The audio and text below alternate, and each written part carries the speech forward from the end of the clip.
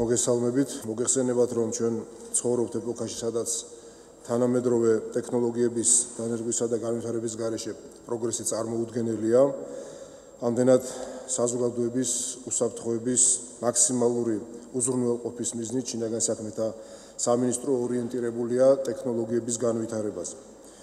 ჩვენ მუდმივად ვსწავლობთ სოფლიოში არსებული საპოლიციო საქმის განვითარების ბოლო ტენდენციებსა და საუკეთესო პრაქტიკას, ვახდენთ მათ დამუშავებას და ჩვენს გამოწვევებთან, ჩვენ წინაშე მდგარ ამოცანებთან მათ მისადაგებას. სულ რამდენიმე დღეში ჩვენ ხსნით მაღალ ტექნოლოგიურ ცენტრს, რომელიც ერთდროულად უზრუნველყოფს ვიდეო მონიტორინგს, ანალიტიკას, პოლიციის ძალების ერთიან მართვას და მხარდაჭერას.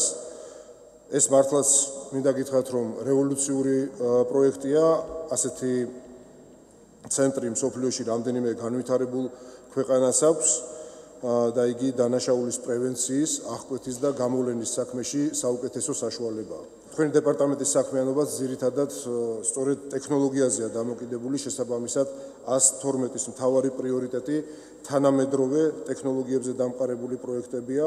ეს პროექტები უფრო მობილურს ხდის 112-ის მომსახურებას და კიდევ უფრო მეტად ხდება მომხმარებლის ინტერესებსა და მოთხოვნებზე ორიენტირებული.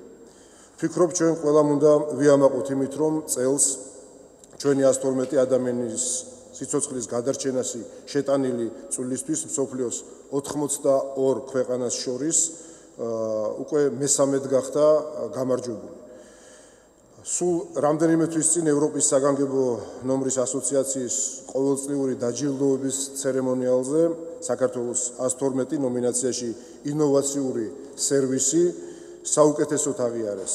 ეს მომსახურება ყრუდას მენადაქვეითებულ პირებს საშუალებას აძლევს SMS-ი და ვიდეო ზარის მეშვეობით 24 საათის განმავლობაში მთელი საქართველოს მასშტაბით დამოუკიდებლად დაუკავშირდნენ 112-ს.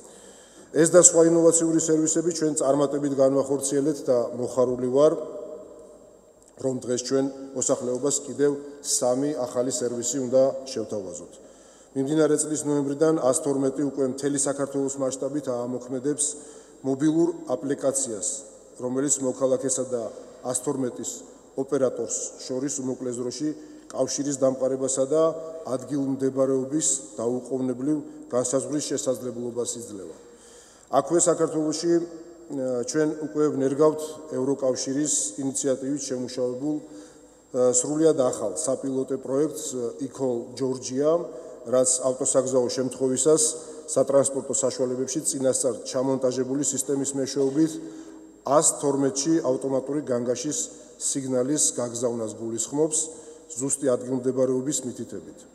და კიდევ ერთი პროექტი საპატრულო ეკიპაჟებისთვის 112-ის მიერ შეიქმნა სპეციალური პროგრამა, რომელიც ჩაიწერება საპატრულო ეკიპაჟებში განთავსებულ პორტატულ კომპიუტერებში. შედეგად ეკიპაჟი დეტალურად და მყისიერად იქნება ინფორმირებული 112-ში შემავალი გადაუდებელი შეტყობინების შესახებ. ანალოგიური პროგრამა სასწრაფო სამედიცინო დახმარების ბრიგადებისთვისაც დაინერგება.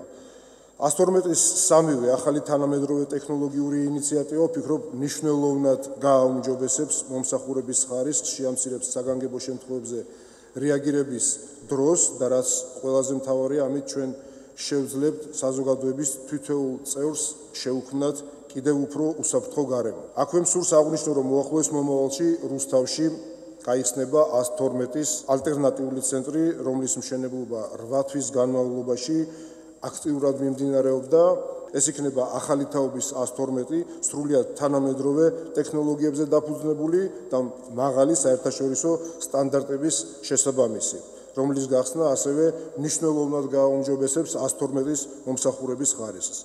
მინდა ვისარგებლო შემთხვევით და მადლობა გადაუხადო 112-ის თვითოეულ თანამშრომელს გაწეული სამუშაოებისთვის და მომავალში კიდევ უფრო ნაყოფიერი საქმიანობა და წარმატებები უსურვო. ჩვენ ყლავაც გავაგრძელებთ თქვენ მხარდაჭერას და ზრუნვას უახლესი თანამედროვე დასავლური სტანდარტებისა და ტექნოლოგიების დანერგვისთვის.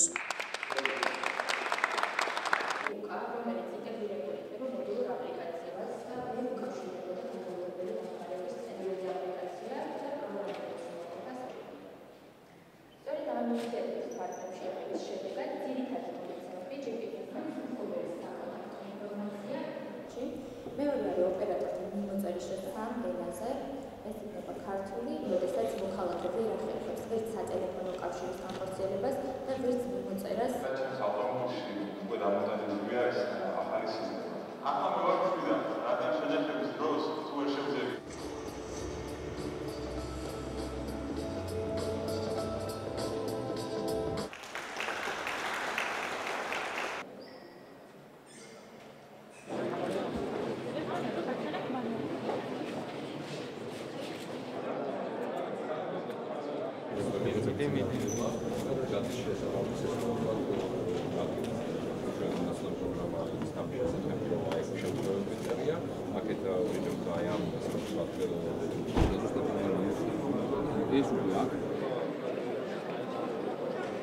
ახლოს რომელი ეკიპაჟიც არის მივა უკაზე ხედავთ 112-მა წარმოადგენა სამი ახალი სერვისი, რომელიც თანამედროვე ტექნოლოგიებზე დაყრდნობით არის აგებული და ეს სერვისები გულისხმობს იმას, რომ კიდევ უფრო მეტად ამარტივოს 112-თან კომუნიკაციის შესაძლებლობას, რათა შემცირდეს გადაუდებელი დახმარების მიღების დრო და ჩვენ ცენტრის ეფექტურ საქმიანობას შეეწყოს კიდევ უფრო მეტად ხელი.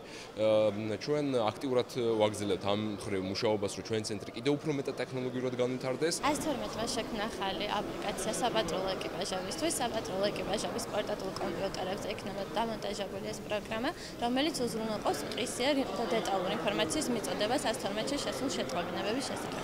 მეორე აპლიკაცია ეს არის მობილური აპლიკაცია, რომელიც არის თანამედროვე ტექნოლოგიებით შექმნილი. მისი მთავარი პრიორიტეტი არის ადგილმდებარეობის დადგენა. აპლიკაცია ხელმისაწვდომია სამ ენაზე: ქართულ, რუსულ და ინგლისურ ენებზე. ევროკომისიის ინიციატივის ფარგლებში საქართველოს 112-მა საპილოტო პროექტი იქოლ ჯორჯია შეიმუშავა. პროექტი გულისხმობს ავტოსაგზაო შემთხვევისას ავტომატური განგაშის სიგნალის გადაგზავნას 112-ში. სერვისის სარგებლობისათვის საჭიროა მომხმარებელმა ავტომობილში წინასწარ დაამონტაჟოს IV სისტემა.